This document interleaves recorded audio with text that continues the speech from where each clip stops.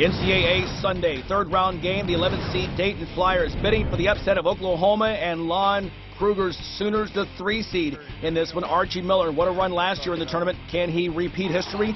Well, Jordan Woodard early on, the assisted Isaiah Cousins for Oklahoma. The three pointer here, Cousins with nine points in the early 9 0 lead. A quick timeout now for the Flyers. They get right back into it. Jordan Sibert, the steal.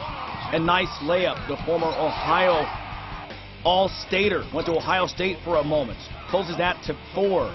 Dinjiyl Walker for three for Oklahoma. The fifth Sooner with the three-pointer. Nine trays in all in the game for Oklahoma. But then Dayton goes on a run. Kendall Pollard the steal and slam. He had 13 points. Scoochie Smith pull up three-pointer. Money.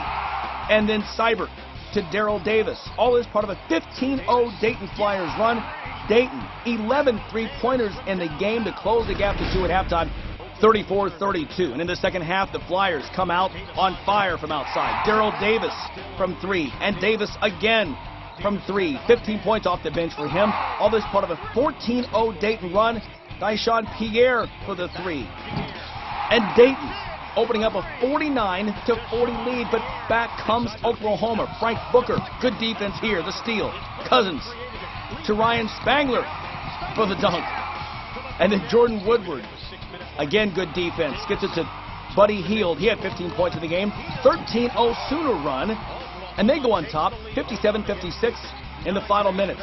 Scoochie Smith for Dayton, ending a nine-minute Flyers field goal drought. Team high 16 for him. And then the steal here. Darrell Davis gets it, but look at this. Buddy Hield. Oh, the big-time rejection. Oklahoma holds on in this one, 72-66, and the Sooners advance to the Sweet 16.